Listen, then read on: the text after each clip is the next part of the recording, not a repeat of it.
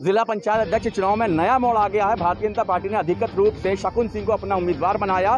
बावजूद उसके अरुण सिंह आज नामांकन कराने पहुँचे अरुण सिंह, मौजूद हैं।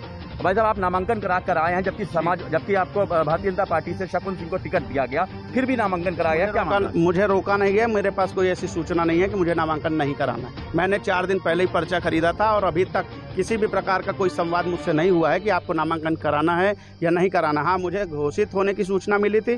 सोशल मीडिया के द्वारा कुछ और भी सूचनाएँ मिली थी लेकिन मुझे व्यक्तिगत कोई सूचना प्राप्त नहीं हुई। क्या बीजेपी के जो आदेश है उसके विपरीत आप काम कर रहे हैं? नहीं नहीं बीजेपी का सच्चा सिपाही हूँ बीजेपी के विपरीत नहीं हूँ। कई जगह पर चुनाव हो रहे हैं और सभी जगह प्रदेश में चुनाव होगा। हाँ। जनपद उन्नाव किसी भी तानाशाही की भेंट नहीं चढ़ेगा हाँ। और किसी भी हद तक भारतीय जनता पार्टी हाँ। तानाशाही के विपरीत रहती है और तानाशाही के खिलाफ सदर विधायक पुत्र और उनके भाई भी आपके साथ है। क्या ये आप एक ये मैसेज देना चाहते हैं पारिवारिक वो हमारे पारिवारिक सदस्य हैं वो हैं मानी सांसद जी हैं सभी लोग यहाँ आज पूरे जनप्रतिनिधि हमारे साथ थे।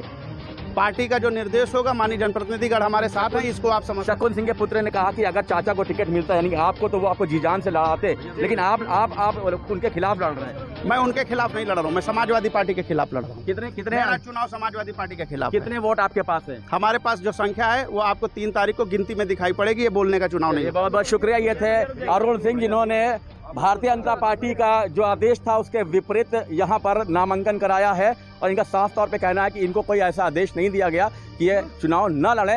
हालाँकि ये वोट किस ओर करवट बैठेगा, ये तो आने वाली तीन तारीख को ही पता चलेगा। वीडियो आसिफ रजा के साथ सलमान शफीक न्यूज़ वाला उन्नाव।